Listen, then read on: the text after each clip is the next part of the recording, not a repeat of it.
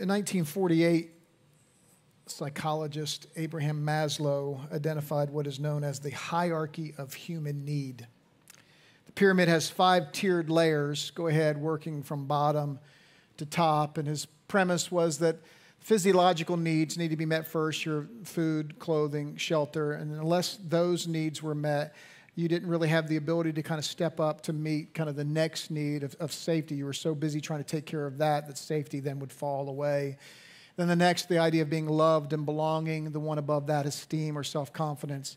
And the one at top, self actualization, the idea of having purpose. And so it's still widely held today that these are the five tiered basic human needs, um, and that you begin at the bottom and they have to be met uh, before you would ever get to a place of living with purpose. The celebration of Advent predates Maslow's theory by about 15 centuries. We celebrate Advent and we would see an additional set of necessities for life hope, love, joy, peace, light.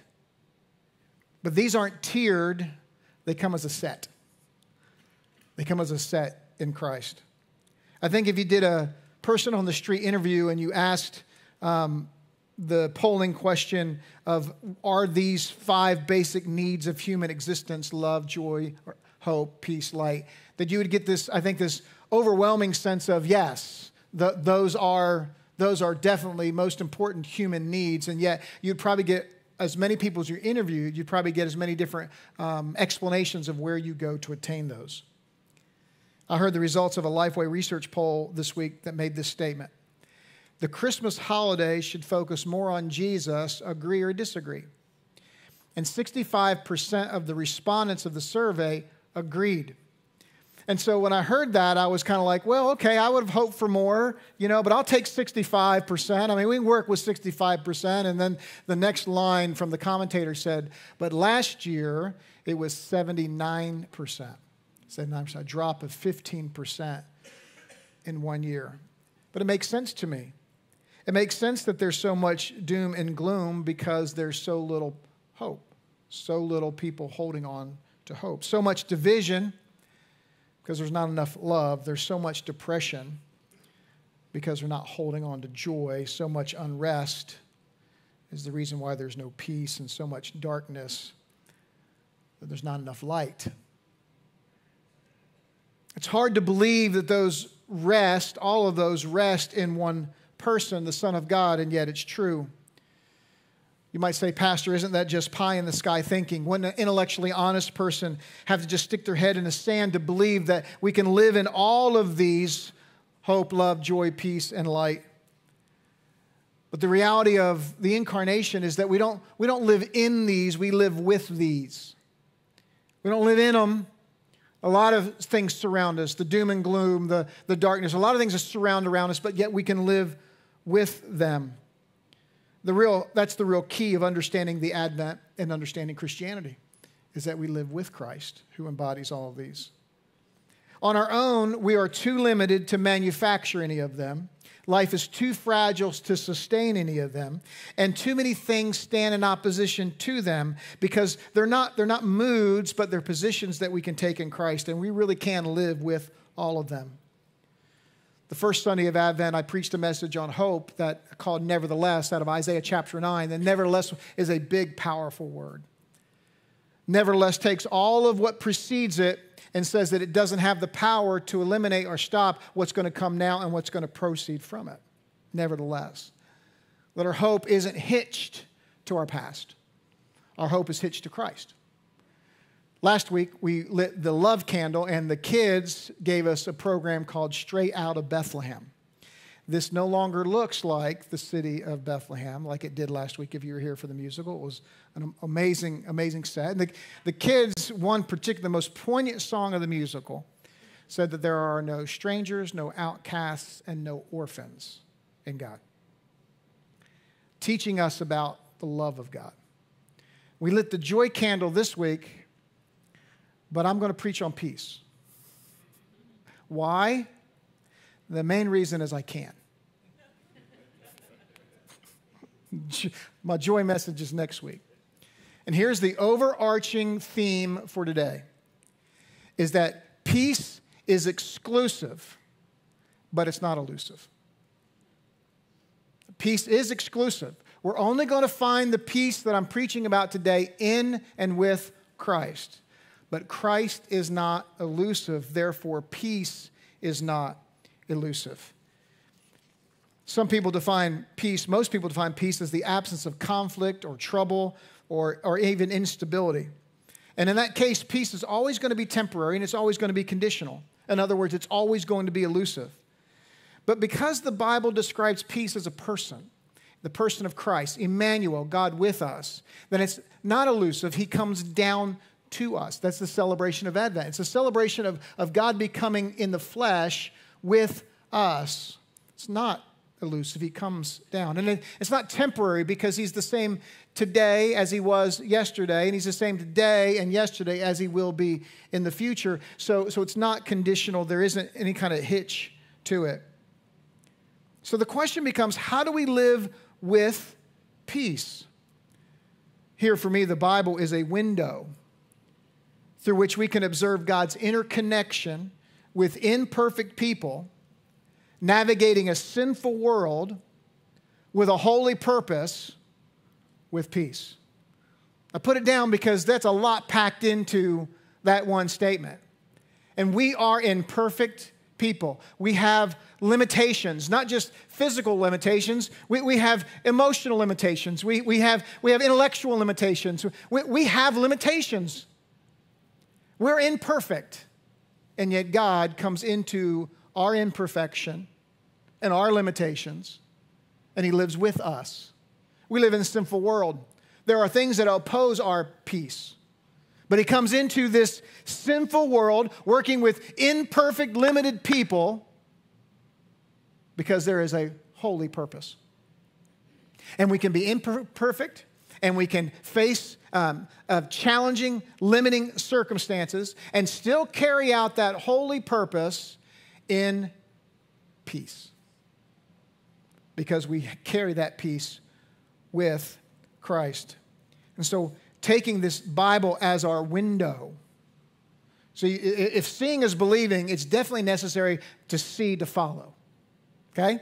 If seeing is believing, seeing's necessary to follow. And the Bible gives us a window. And this morning I'm going to use two different couple stories out of what's known as the birth narratives of Christ Matthew chapter 1 and 2, Luke chapter 1. And we're going to see the window of God working with imperfect people in a sinful world with a holy purpose with peace.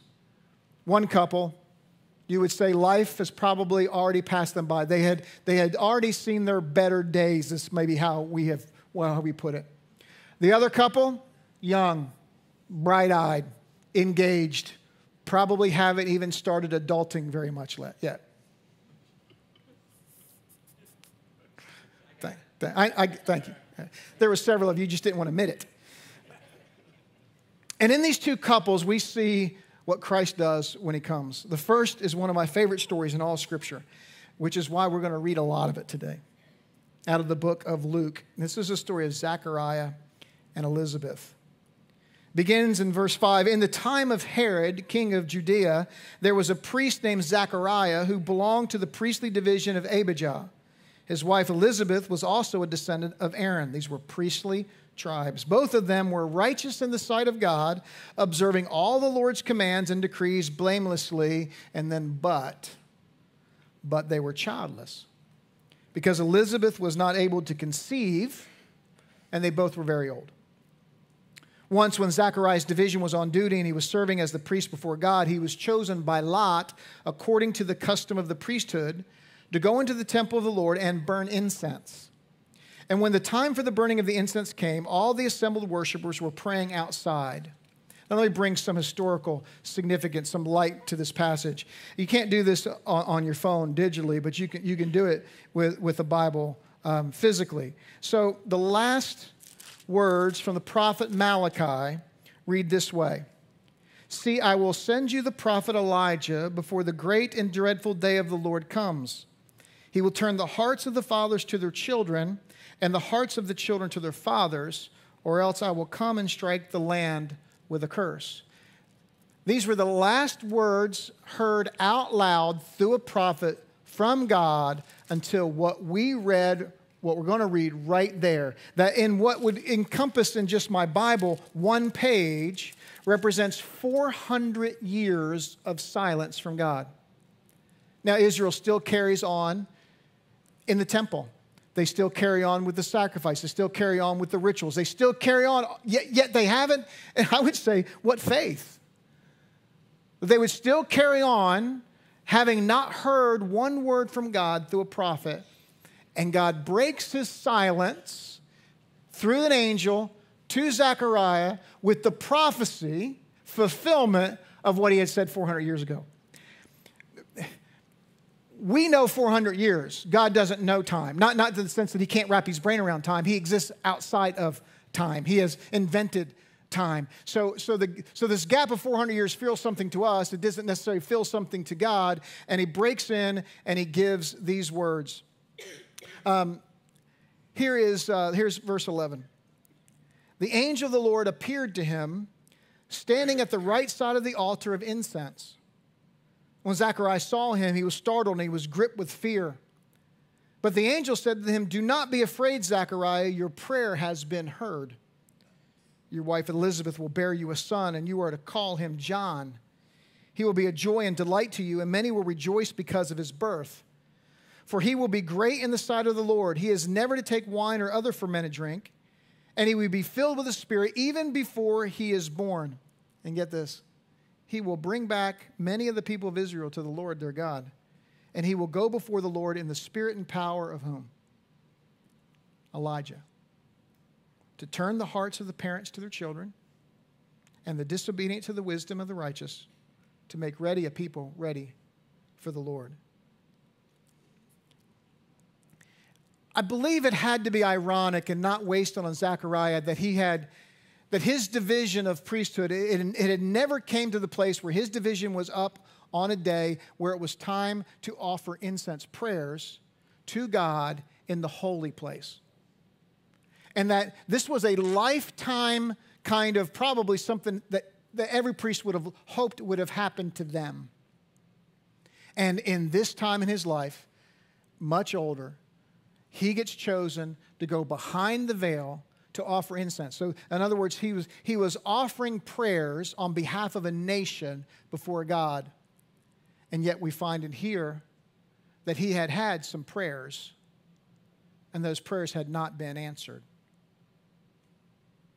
I think he had to go into this experience kind of up and down a little bit. That, that even maybe, maybe, maybe some lacking of confidence that how am I supposed to be bringing the prayers of a nation to God, and yet, where did my prayer go? And the angel of the Lord, after 400 years of silence, angel Lord appears to him in the holy place where the presence of God was supposed to dwell, and he was surprised. It's kind of a sad part of the story, actually, to me.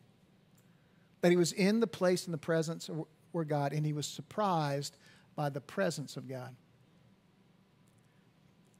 And if I can just take a moment, we gather this morning in the house of God, in the sanctuary, where His presence dwells. But how many times do we enter into His house and His sanctuary with zero anticipation and zero expectation of Him showing up in a way that's undeniable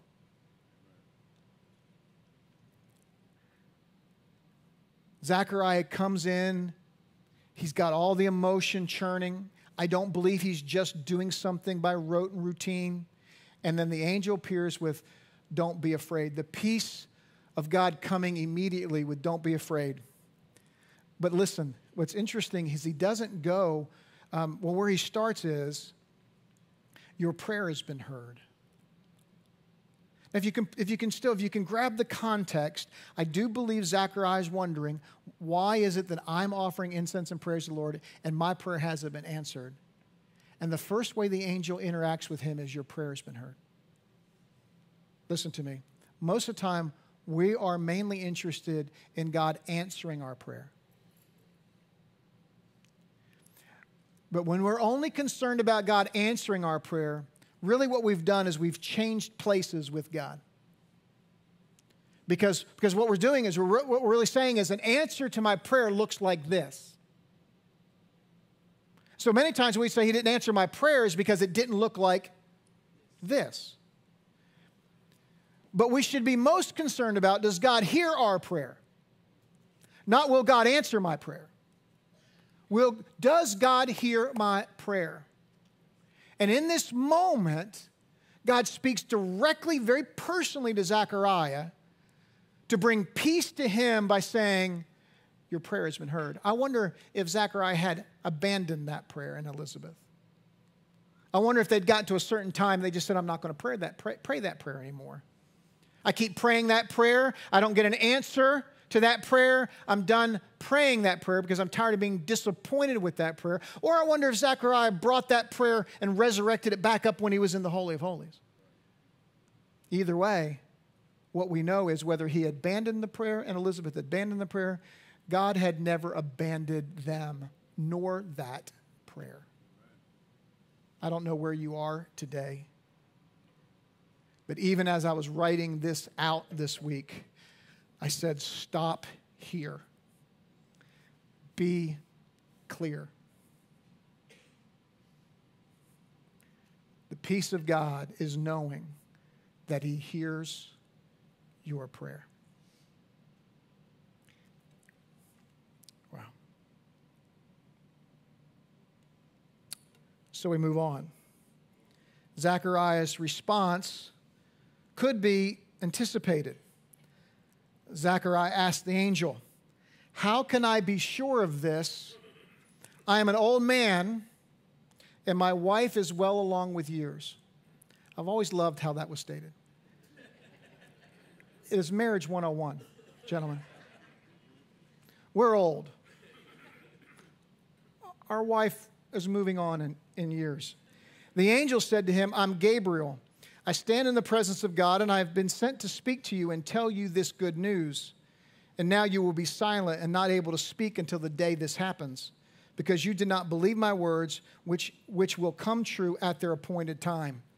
Now, it's, it's kind of like when you get a text or an email and you, and you never really know what people are saying because there's no way to read tone right? There's no way to, no way to understand um, uh, tone or circumstance in reading that because it sounds like Zechariah has a legitimate question.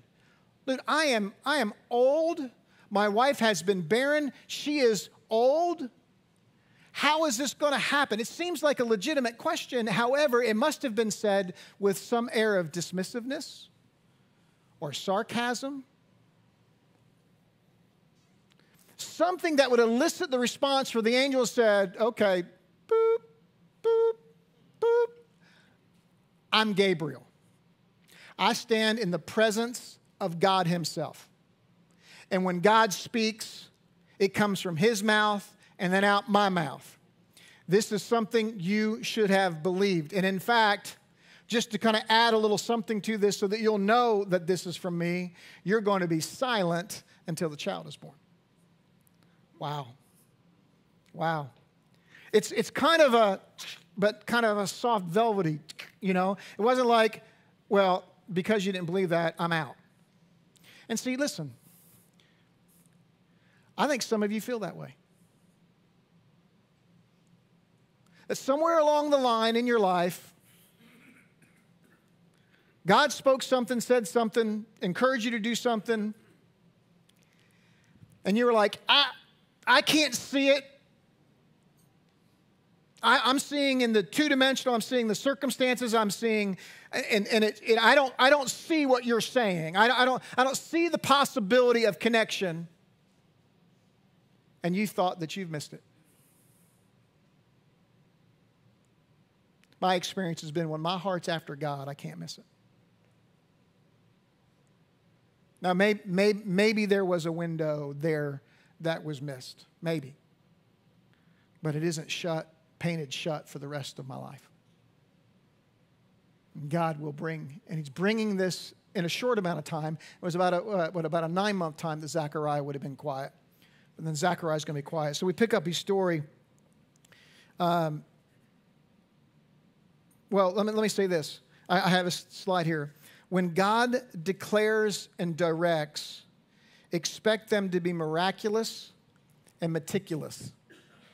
When God speaks, He's going to speak of things we could not have known or manufactured on our own. And when He gives direction, it's going to be of a nature we could not have anticipated. That's called a miracle.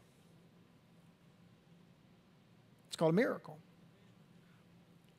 When, when, when God speaks, He has the power to bring about that which He speaks. And when we put that in the capacity of what we can ascertain or obtain our own, we've just taken it out of the realm of a miracle. Why is it when God speaks to us, we go, oh, I don't, you know, how's that going to happen? How's that? Well, because it's going to be a miracle. Because it's always going to need to be outside of the context of our ability if it's going to bring any kind of attention and glory to Him. And when people are drawn to Him, they're drawn to hope, peace, love, joy, light. When they're drawn to us, there's only going to be versions of those. And when He gives us direction, it's going to be meticulous. In the sense, what I mean by meticulous, sometimes it would be turn by turn instructions, but it's going to be specific. He's going to get to a time of specificity. you know, I should never try to say a word I don't write out. And when it takes us directions that we would not have chosen, doesn't that make sense now in the light of what I'm talking about? Sometimes we, you know, we don't get directions. We, we, we go off on our own and we should be pausing for His. And other times in my life, He's giving me specific directions, and I'm saying, Look, I know how to get to point A, and you're taking me to point F. How is this ever going to get around to point A? But when God gives directions, they're going to be meticulous. Here's the rest of the story in verse 21. Meanwhile, the people were waiting for Zechariah and wondering why he stayed so long in the temple.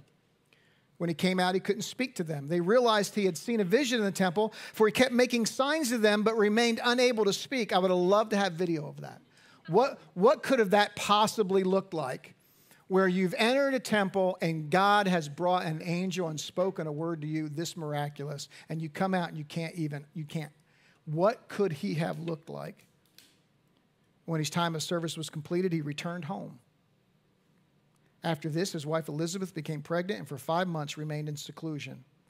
And she said the Lord has done this for me. In these days he has shown his favor and taken away my disgrace among his people God does things this way so it's clearly Him and not anyone else.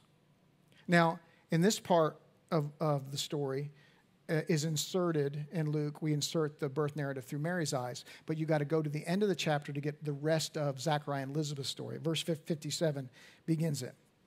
When it was time for Elizabeth to have her baby, she gave birth to a son. Her neighbors and relatives heard that the Lord had shown her great mercy, and they shared her joy. On the eighth day, they came to circumcise the child, and they were going, home, going to name him after his father, Zachariah. But his mother spoke up and said, No, he's to be called John. So, so there's communication between Elizabeth and Zachariah all throughout this pregnancy. She has heard now all of the story as he has written it out. They've already gone through all the explanations of why not choosing the family names. And she's on board. No, no, no, no. His, his name's going to be John. They said, There's no one among your relatives who has that name. Then they made signs to his father to find out what he would like to name the child. He asked for a writing tablet, and to everyone's astonishment, he wrote, His name is John. Immediately his mouth was opened and his tongue set free, and he began to speak, praising God. All the neighbors were filled with awe, and throughout the hill country of Judea, people were talking about these things. Everyone who had heard this wondered about it, asking, What then is this child going to be? For the Lord's hand was on him. Now, I want you to hang with me. I want to read the rest end of that chapter because it, it, it, it states as prophecy that Zechariah is prophesying, but it comes out as a song. I'm not going to sing it. His father, Zechariah, was filled with the Holy Spirit and prophesied. Praise be the Lord, the God of Israel, because he has come to his people and redeemed them. He has raised up a horn of salvation for us in the house of his servant David, as he said through the holy prophets of long ago salvation from our enemies and from the hand of all who hate us, to show mercy to our ancestors and to remember his holy covenant. The oath he swore to his father Abraham to rescue us from the hand of our enemies and to able, enable us to serve him with fear, in holiness and in righteousness before him all our days. Prophesying, he's reaffirming the promise that had already been given, that was now present. And his son was the forerunner, the person that would announce the next. And you, my child, will be called a prophet of the Most High. For you will go on before the Lord to prepare the way for him, to give his people the knowledge of salvation through the forgiveness of their sins, because of the tender mercy of our God, by which the rising sun will come to us from heaven, to shine on those living in darkness and in the shadow of death, to guide our feet into the path of what? Peace. And the child grew and became strong in spirit, and he lived in the wilderness until he appeared publicly to Israel. And we have the birth of John the Baptist. The fulfillment of the prophecy, prophecy given in Malachi, where the angel steps in, steps right into Zechariah's world, right into Elizabeth's world, and into ours as well. And he speaks something specific and personal that brings peace. And then with the birth of John, this ball starts really rolling that we're all going to be able to live with peace. Now, we're going to pick up Mary's story because when we start with Mary's story, what you now start to see is overlap in how God works with his people. Because you're going to see how he does something very similar with Mary that he did with Zechariah, and we're going to end with very similarities with, with, um, with Joseph. Now, Mary's story is picked up in Luke chapter 1, verses 26 through 38. It says, In the sixth month of Elizabeth's pregnancy, God sent the angel Gabriel to Nazareth, to a town of Galilee, to a virgin pledged to be married to a man named Joseph, a descendant of David. The virgin's name was Mary. The angel went to her and said, Greetings, you who are highly favored. The Lord is with you. Mary was greatly troubled at his words and wondered what kind of greeting this might be. But the angel said to her, Do not be afraid. Mary, you have found favor with God. You will conceive and give birth to a son, and you are to call him Jesus. He will be great and will be called the Son of the Most High. The Lord God will give him the throne of his father David, and he will reign over Jacob's descendants forever. His kingdom will never end. How will this be? Mary asked the angel, since I am a virgin. The angel answered, The Holy Spirit will come on you, and the power of the Most High will overshadow you. So the Holy One to be born will be called the Son of God. Even Elizabeth, your relative, is going to have a child in her old age, and she who was said to be unable to conceive is in her sixth month. For no word of God will ever fall. Your translation might read, For nothing is impossible with God. I am the Lord's servant, Mary answered. May your word to me be fulfilled. Then the angel left her. Now, here I want to give you some handles that pieces together both these stories. First, the idea that peace originates with a proclamation don't be afraid. And it's followed with a promise life is coming. Don't be afraid. Proclamation begins the peace process. Don't be afraid. Why? Because where there was darkness, there's going to be light. Where there was emptiness, there's going to be fullness. Where there wasn't any peace, there's coming Christ with us. It begins with a proclamation of don't be afraid. Some of you today desperately need, desperately need to hear the Spirit of the Lord saying to you, don't be afraid. Don't be afraid. Life is coming which leads to the second is that the peace that's promised is self powered. It's self powered. To Zechariah, it was, yeah, you, you, you, you, you, in your natural sense, are not going to have a child. Your wife has been barren. You, you both are too old. But this promise I'm giving you isn't for you to figure out and manipulate and maneuver and control man, sometimes we get something from God and we just want to strangle and control the thing to death. This is not, God's promise to you and me has never been powered by you and me. Self powered. Mary, I'm a virgin. How, how is this going to happen? Now, the question arises Zechariah asks a similar question, and he gets smacked down with laryngitis. Mary asks the question, and she gets a tender response, which tells you the difference in how they ask the question. Zachariah received the promise from God, he's going, Yeah, right. Sure. Now, now you want us to have a child. Sure. Mary is, wow, really? I mean, how's that going to happen? It's, it's a completely different posture. It's, I believe you, let me in on the secret. The other is, not possible. Now, what I love is the angel didn't move on from Zachariah and Elizabeth. You get me? Because you, you, you're the one talking to me. You get me? Now, is it, uh, you're going you, now for whatever reason now you're going to be silent for nine months, but I have, but the baby didn't stop growing for nine months. It moved on to another couple that nine months. Mary, Mary's like, oh, yeah, yeah, oh, yeah, come on. Now, now give me a little insight of how this is going to happen. Let me read you Genesis 1 1. In the beginning, God created heavens and the earth. Now the earth was formless and empty. Darkness was over the surface of the deep, and the Spirit of God was hovering over the waters. The language is similar. Where, where the Spirit of the Lord hovers, He brings something out of nothing because He's the one who brings the power, not us. Mary, sweetie, man, let me, let me, let me tell you how this is going to happen. You know, s- sit down. She probably was already seated, right? Or flat on her back. Let, let me go ahead and tell you how this happened. And here's how you know the difference on how she wanted to hear the explanation on Zechariah. Because she says, May it be to me as you have said.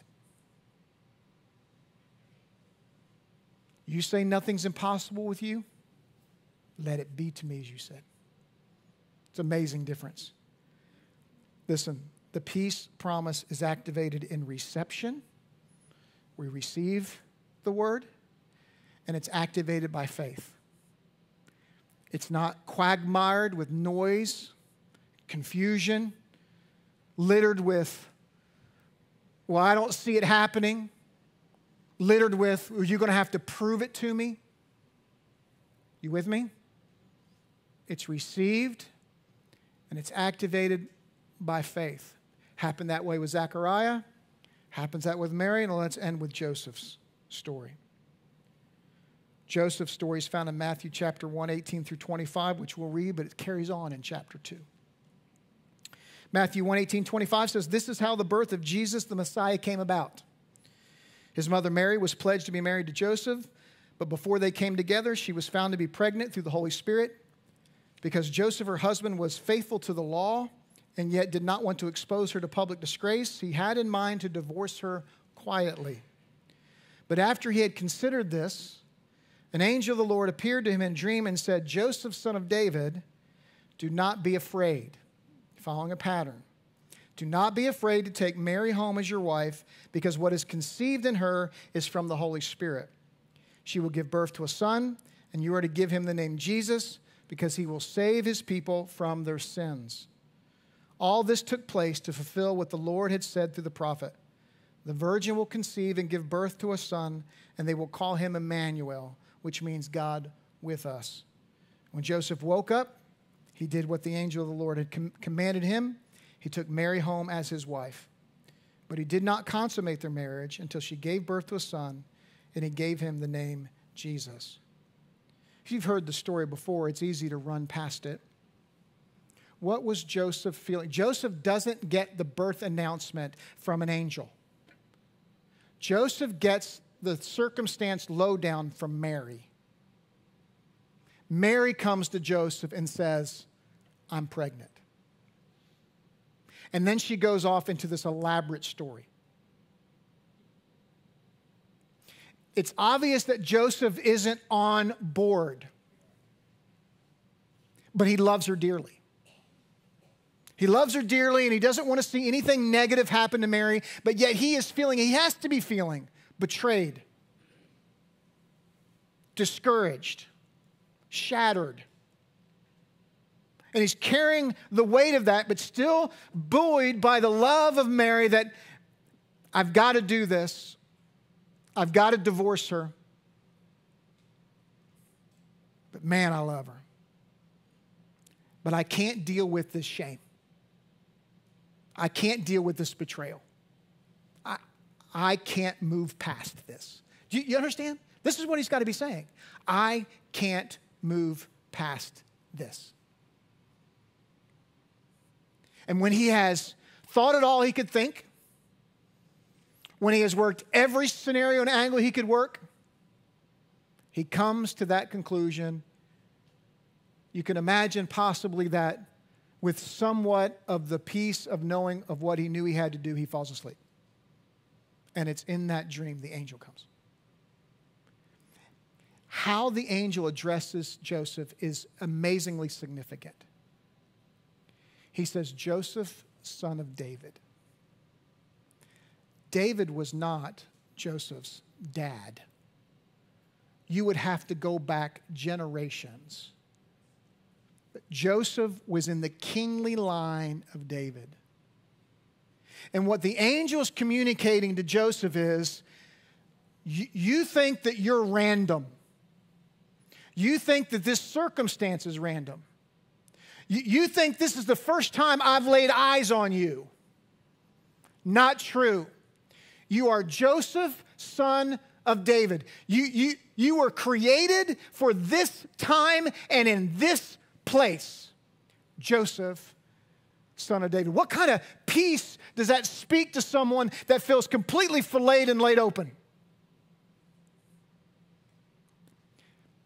To Zechariah, the angel says, I've heard your prayer. Zechariah, completely, probably an emotional wreck, walking through his duties of priest of offering prayers to a nation, and he's not even con- con- convinced that his prayers had been heard. Zechariah your prayers have been heard. Mary, you are highly favored among women. The Lord's proclamation to us is always going to bring peace because he, he, he meets us right where we are with all the emotions that are tied up in all of that. And he cuts through all of the stuff and he goes right to that to identify, if nothing else, to identify, I know who you are. This is not a surprise. You're not a surprise. Son of David, Joseph, son of David. And then he throws in, don't be afraid. This one is a pretty significant not be afraid. Let me tell you why. Zechariah has one encounter with an angel. One. Okay? His wife Elizabeth has zero encounters with an angel. Zero. Mary has one encounter with an angel. Joseph has four. When you read Matthew 1 and Matthew 2, there are four dreams that Joseph has. Four. One is pre birth, three is post birth. And all three post birth, it was the dream was an angel coming with direction to protect the baby Jesus. And in all circumstances, now in this circumstance, okay, in this circumstance, um, when Joseph woke up, he did what the angel of the Lord told him to do. In the other three, says he woke up and he got up. If we're going to activate peace, when God speaks something that is miraculous, that has, does not have the ability to be self powered, and He gives direction, We have to activate that with. How do you how do you come to Christ in the first place? Salvation is the reception of a gift. We can't earn it, we couldn't power it. We have to receive it. It was given in full love for us, and we receive it. How do you move forward in peace with God? You have to receive it and you have to walk it out. You receive it in faith and you activate it with your feet. And all three on all three occasions, it says he woke up and he got up. He woke up and he got up. Here's kind of a recap God's peace. God's peace is the promise of Jesus. It's always been that way. It always will be that way. We, don't, we can't live in peace if we're not going to live with peace. Living in peace is going to always be short it's never going to be consistent. It's always going to be dependent on someone else or something else. But living with peace is living in relationship, in tandem with Christ. That was the promise. I will send my son. That was the promise. The birth is the fulfillment of that promise. God's peace is the promise of Jesus. God's peace is always going to be self empowered, self powered. It's His power. So when we're tied up, having heard a word from the Lord of how are we going to make this happen, I can save you a lot of anxiety if we will not try to make that happen. I'm convinced sometimes we don't get any further instruction from God because He knows we can't handle it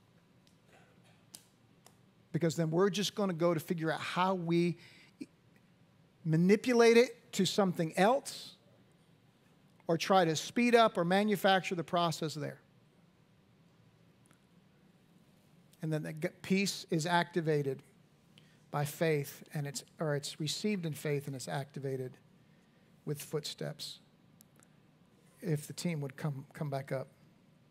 I want to want to end with back to this idea that peace is exclusive in Jesus, but that it's not elusive. I want to prove that to you. First, peace isn't elusive because God came to us. We didn't come to him first. Here's John 1:14. The word became flesh and made his dwelling among us.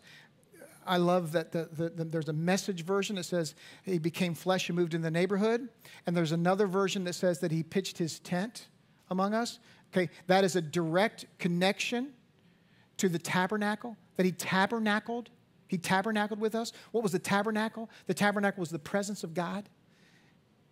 It was to represent the presence of God. And then now, now the tabernacle's days were done. That's why Jesus said, In three days I will destroy this temple and I'll raise it back up because now he was going to be with us. He comes to us. We've seen his glory, the glory of the one and only Son who came from the Father, full of grace and truth. Second, peace isn't elusive because he stays with us. John 14, 26 and 27 says, But the advocate, the Holy Spirit, whom the Father will send in my name, will teach you all things and will remind you of everything I've said to you. Peace I leave with you, my peace I give you. I do not give as the world gives. Do not let your hearts be troubled. And what? Don't be afraid. The words of Christ, not just the words of an angel. It's not elusive because he comes here. It's not elusive because we're not alone. He stays with us, and peace isn't elusive because he's coming back for us. That's what Advent points to. Advent, Advent leverages an historical event for what will be an historical future. 1 Thessalonians 4 13 through 18. Brothers and sisters, we do not want you to be uninformed about those who sleep in death so that you do not grieve like the rest of mankind who has no hope. For we believe that Jesus died and rose again, and so we believe that God will bring with Jesus those who've fallen asleep in him. According to the Lord's word, we tell you that we we who are still alive, who are left until the coming of the Lord, will certainly not precede those who have fallen asleep. For the Lord himself will come down from heaven with a loud command, with the voice of the archangel, and with the trumpet call of God, and the dead in Christ will rise first. And after that, we who are still alive and are left will be caught up together in the clouds to meet the Lord in the air. And so we will be with the Lord forever. How does he end it? Therefore, encourage one another with these words. It's not elusive because he comes to us. It's not elusive because he stays with us. And it's not elusive because he will be with us and we will be with him forever. We now see through a glass darkly, but we will see him face to face. To have no peace now is to not have any kind of connection to a future promise. It's to have it's not to have a connection to a present reality. It's not to have a connection to a past historical truth, the birth of a savior. Think about that survey question. Should we think more of, we should think more about Jesus during the Christmas season, agree or disagree? To disagree is to rip the heart out of Christmas. It, it, it is to just take away all of the power. The season doesn't hold a power, Christ has a power. Christmas is a worldwide it's a worldwide advent that so many times people miss. There's really only two reasons not to live with peace.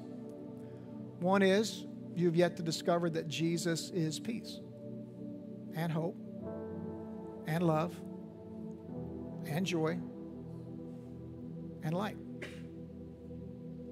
Keep depending on something else or someone else to fulfill those. And I think looking around the room,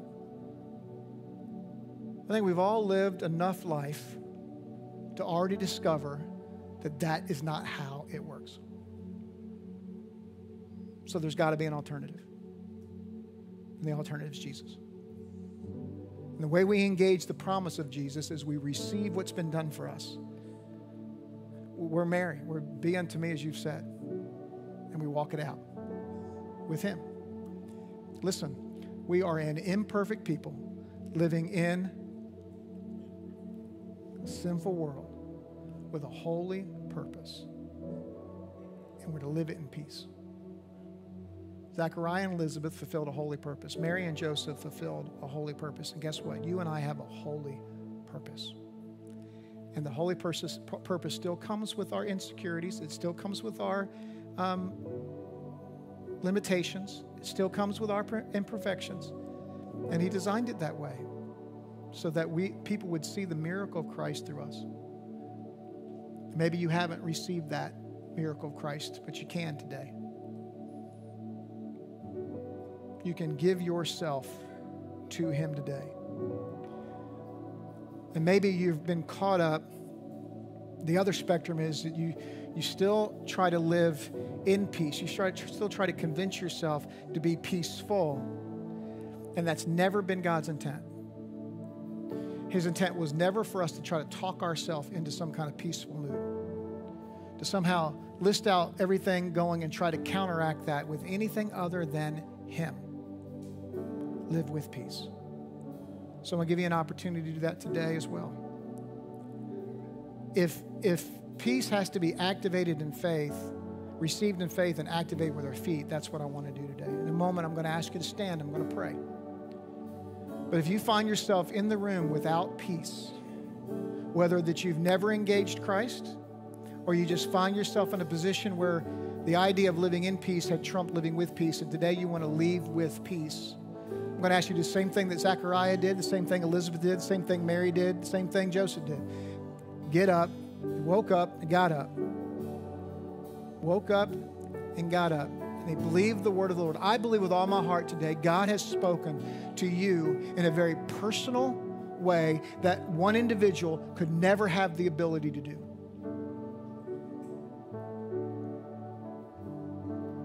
And that is a proclamation from the Holy Spirit. And it's His promise that life is coming. You'll stand with me for prayer.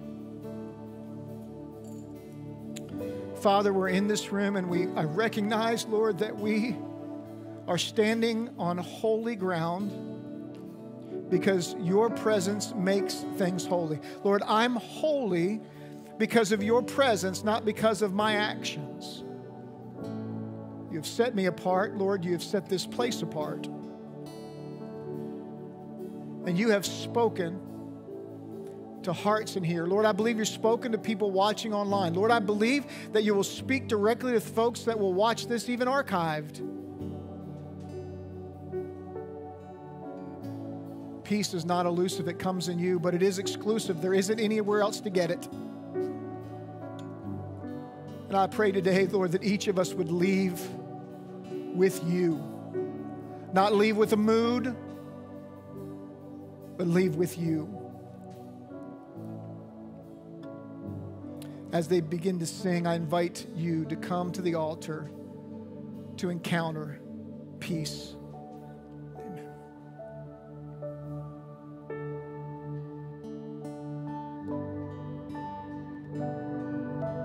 Get around if you feel like that you you need to meet with Christ and meet with peace. I want you to come on right now.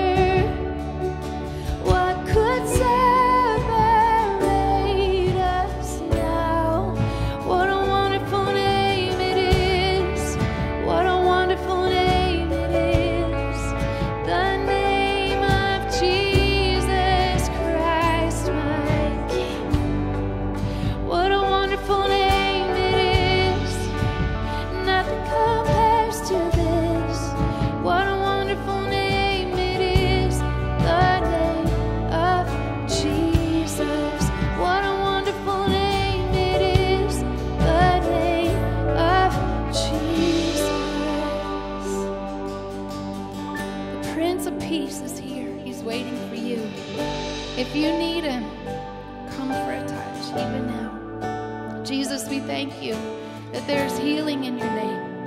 And Lord, we thank you that there's so much goodness in you. We're not even acclimating to life.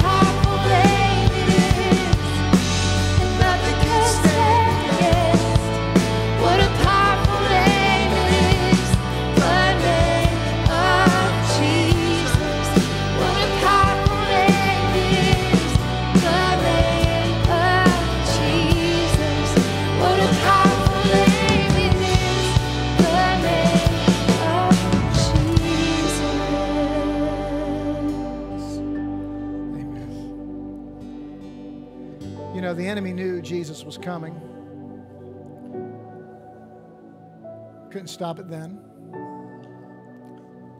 Couldn't stop it pre birth. Couldn't stop it post birth. Can't stop it him now. Revelation says that before the foundation of the world, the Lamb was slain.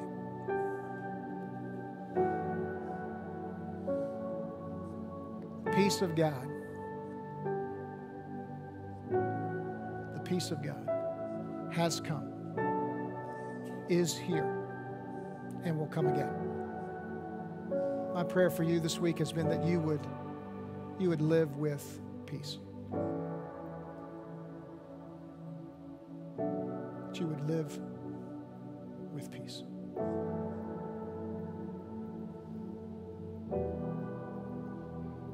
I believe the Father has spoken peace into your heart. The question is will you receive it?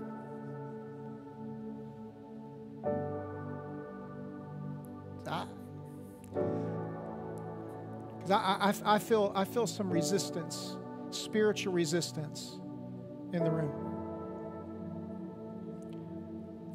And I think, I think where I've pegged that is is some one more not believing it to be so because you've been so disappointed. And you, you don't want to get you don't want to get your hopes up again. And you've, you've, lived, you've lived so long in this, in this hurt and this disappointment and maybe even disillusionment, I think maybe you don't even know how to make the step again into peace. It's been, it's been so long since you've encountered this kind of personal interaction with God that He would be able to speak to Zachariah's prayers and to, to Mary's heart and to, to Joseph's lineage. And, and you want to believe it, you can't bring yourself to. My heart breaks right now. Would you push past the fear of being disappointed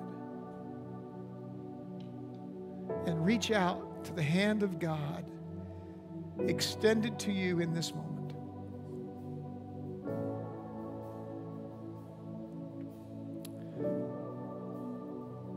Lord, and each time your angel came to these three,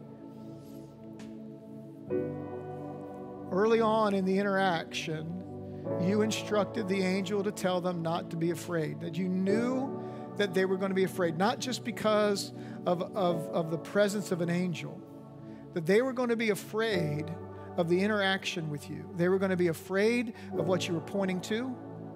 They were going to be afraid of what you're promising. They, they were going to be afraid of what that was going to look like to walk it out. And so you led with, Don't be afraid. And Lord, hear my prayer. Lord, speak into those lives that are holding back right now. And let it be like that trumpet sound for them to hear, Don't be afraid.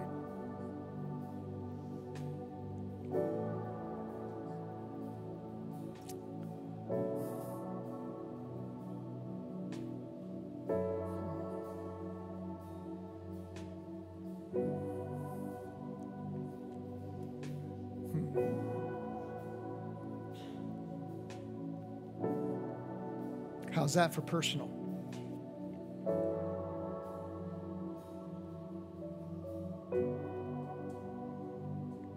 Don't be surprised when you come into a sanctuary, the house of the Lord, to experience the presence of God.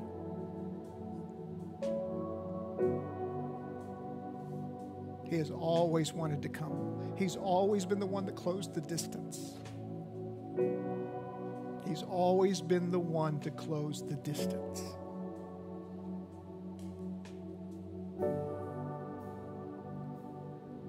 You hold the last key to peace. if you'll receive it. If you'll believe it enough to follow it and walk it out.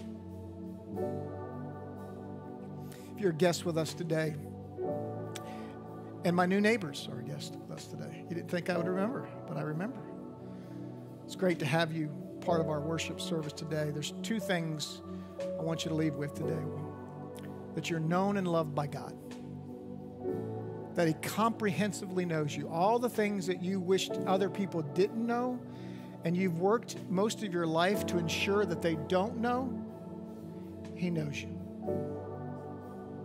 And unlike your fear of everyone else, He knows all of that and loves you unconditionally. You are known and loved by God. And that's where we rest in His peace. Would love to get a chance to meet you right outside these double doors. There's a big C. Would love to get a chance and give you a gift if you're a guest with us today. Don't forget, next Sunday we're going to be celebrating communion as part of that service. Um, not a part of our uh, Christmas Eve service because when you hold a candle and hold a cup and you spill wax on the chair and you spill it, you know, it's just it's just not possible. And, and Christmas Eve, there's a lot of guests. And uh, so I want to do this as a family on next Sunday, receive communion together. Now for the benediction. May the Lord bless you and keep you. May make his face and his peace shine on you, be gracious to you, and grant you peace. And you're rising up, and you're laying down, and you're going out and coming, coming in, both now and forevermore.